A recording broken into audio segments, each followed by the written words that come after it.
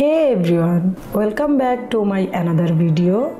In this video, I am going to talk about Bollywood stars who married divorced women. Let's deep into the video. Mithun Chakraborty to Yugata Bali. Yugata was the third wife of the legend Kishore Kumar. After that, she fell for Mithun Chakraborty and got married to him. The couple now has four children. Gulzar to Rakhi. Earlier, Rakhi got married to Bengali film director Ajay Biswas. After that, she married to Gulzar. Rahul Roy to Raj Lakshmi Khanvilkar.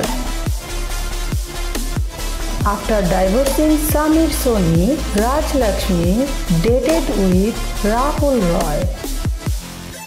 Then they got married in 2000. Sanjay Dutt to Manyata. Manyata earlier got married to Miradur Rahman Sheikh. After divorcing her first husband, she tied the knot with Sanjay Dutt. Leander Paes to Rhea Pillai. Rhea was the second wife of Sanjay Dutt. After divorcing Sanjay, she tied the knot with Leander Paes. Anupam Kher to Kirron Kher.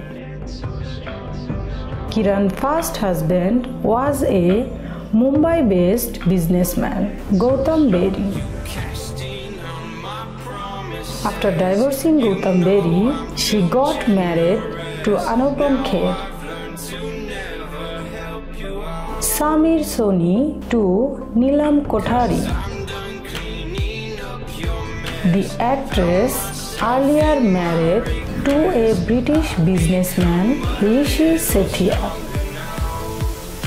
After divorcing her first husband, she married Samir Soni.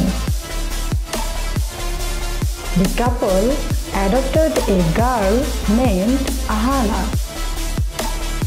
I hope you enjoy my video. If do so, then please don't forget to subscribe my channel for the next videos.